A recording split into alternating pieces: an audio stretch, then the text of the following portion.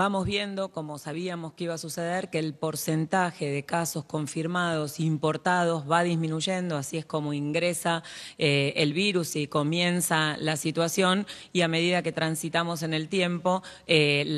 el número de contactos estrechos y en algunas jurisdicciones la circulación comunitaria o en conglomerados va haciendo que ese porcentaje vaya atendiendo a que disminuyen los casos eh, que hayan tenido contacto, que hayan tenido antecedente de viaje.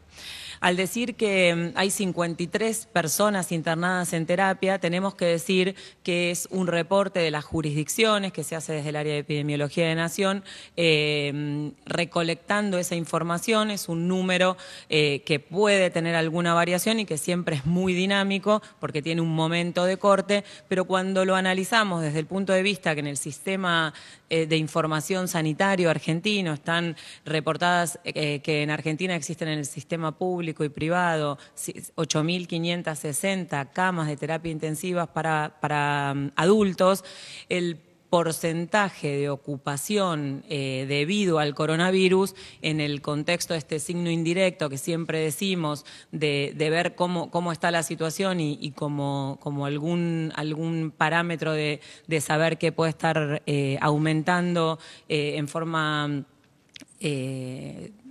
poco identificada, eh, nos deja en, este lugar. De, de 8.560, 53 personas tienen confirmado coronavirus en terapia intensiva. En relación a las altas, 228 219 son altas transitorias, son esas personas que dijimos que se encuentran bien clínicamente, que tienen primero su, primer control negativo y que van a continuar el aislamiento y su segundo control a su domicilio. Y las definitivas, que quiere decir que ya tienen sus dos controles negativos y, y pudieron superar la situación, ya son nueve. Eh, en relación a una consulta muy frecuente, empezaremos a trabajar y a construir este porcentaje, es el porcentaje de positividad de las muestras. En este momento, teniendo en cuenta las muestras de la Anlis Malbrán y teniendo en cuenta la fecha de toma de muestras, el, el porcentaje de positividad es de 21.5%. En este contexto, descentralizando el laboratorio más todavía, tiene más fuerza el pedido que cada laboratorio que realice pruebas, las notifique, tanto las positivas como las negativas, para que desde el nivel central podamos consolidar ese indicador en forma amplia. Igualmente, tenemos este indicador eh, del Malbrán que podemos ir monitoreando ese porcentaje de positividad, teniendo esta información y teniendo en cuenta esta situación para eh, ir informando eh, que, fue una consulta muy, muy frecuente en ese contexto. Tenemos también siempre información para grupos eh, particulares, para consultas y para dudas que pueden tener un, grupo importante de la población eh, en relación al aislamiento social preventivo obligatorio y a, los, y a los cuidados especiales que tienen que tener. En este caso, las personas mayores, por eso tenemos el espacio para poder tener recomendaciones para ese grupo de la población. Hola, buenos días. Eh, la idea es hablar un poco para los adultos mayores, yo soy infectóloga y geriatra,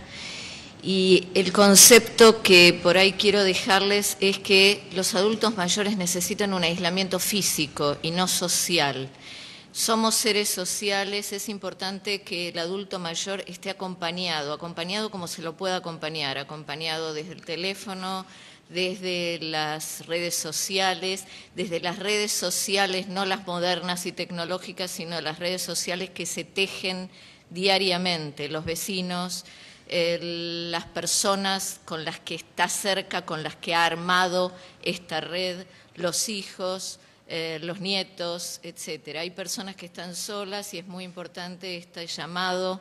que se está haciendo desde distintas organizaciones no gubernamentales para acompañar a los adultos mayores, ayudarlos desde las cosas elementales como que necesitan remedios o que necesitan eh,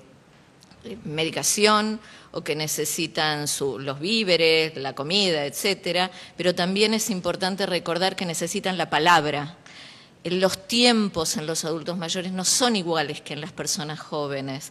Eh, pueden identificar la sensación de aislamiento como un aislamiento permanente, esto que ahora se alargó y que probablemente en los adultos mayores se acompañe con una recomendación más larga de no estar con mucha gente, etcétera. Esto lo pueden vivir como una cosa que necesitan nunca más ver a los hijos, nunca más ver a los nietos, y esto es muy importante. Esto genera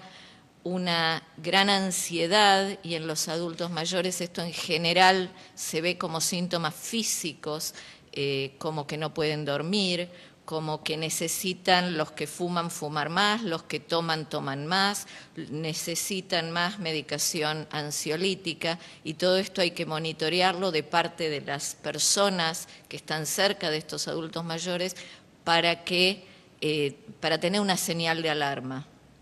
Por otro lado, no minimizar los síntomas. En casi todas las patologías los adultos mayores tienen pocos síntomas y síntomas menos eh, que menos La palabra dirigen de Miriam a- Rosenek.